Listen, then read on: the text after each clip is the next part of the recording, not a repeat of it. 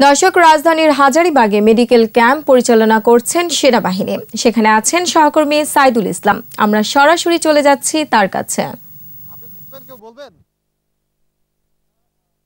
হ্যাঁ রুমারা, ঠিক এই মুহূর্তে আমরা দাঁড়িয়ে আছি রাজধানীর অন্যতম ব্যস্ত একটি এলাকা, রাজধানীর হাজারিবাগ এলাকায়। আপনি জানেন যে এই হাজারিবাগ এলাকার এই ভেরিবাদের উপরে শেখ রাসেল একাডেমির সামনে আমরা দাঁড়িয়ে আছি।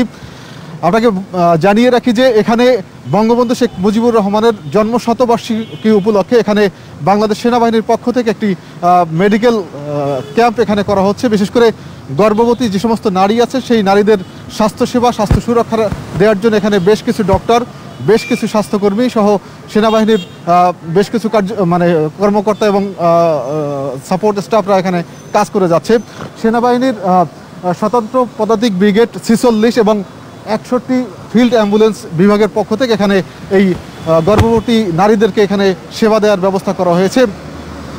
এখানে বেশ কয়েকটি ধাপে ছয়জন ডক্টর এবং স্বাস্থ্যকর্মীরা নারী যারা আসছেন বিশেষ করে যখন এই করোনা মহামারী শুরু হয়েছে, তো মহামারী শুরু হওয়ার পরে যখন সাধারণ মানুষ হসপিটালে যেতে ভয় পাচ্ছিল বা হসপিটালের সেবা কার্যক্রম কিছুটা সংকীর্ণ ছিল মূলত তাদেরকে সেবা দেওয়ার উদ্দেশ্যে, অর্থাৎ গর্ভবতী নারীদেরকে সেবা দেওয়ার উদ্দেশ্যে কিন্তু এখানে এই ফিল্ড হসপিটাল বা ফিল্ড মেডিকেল ক্যাম্পের এখানে ব্যবস্থা করা হয়েছে। এখানে বিশেষ করে নারীদেরকে বিভিন্নভাবে পরীক্ষা করা হচ্ছে, তাদের প্রেশার মাপা হচ্ছে এবং তাদের গর্ভের সন্তান কী অবস্থায় আছেন সেই পরীক্ষা নিরীক্ষা করা হচ্ছে।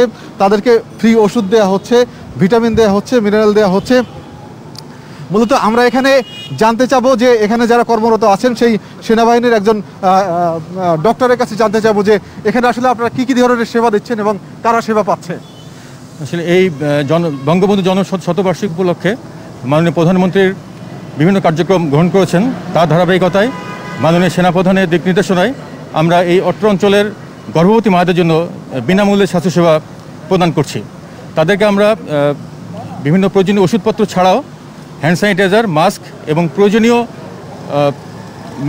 মেডিকেল এবং ইনভেস্টিগেশনগুলি করা হচ্ছে যাতে এবং তাদেরকে একটি করে ফোল্ডার দেওয়া হচ্ছে যেখানে তাদের টিকা অর্থাৎ ইমিউনাইজেশন হিস্ট্রি এবং ওষুধ যেগুলো আমরা দিচ্ছি সেই হিস্ট্রিগুলো থাকবে এবং পরবর্তীতে তাদেরকে আমরা এই এই ফলো আপটা তারা করতে পারবে এবং আমরা, আমি মনে করি যে এই করোনাকালীন সময়ে গর্ভবতী মায়েদের জন্য বিভিন্ন স্বাস্থ্যসেবা কেন্দ্রে যাওয়া একটু ঝুঁকিপূর্ণ।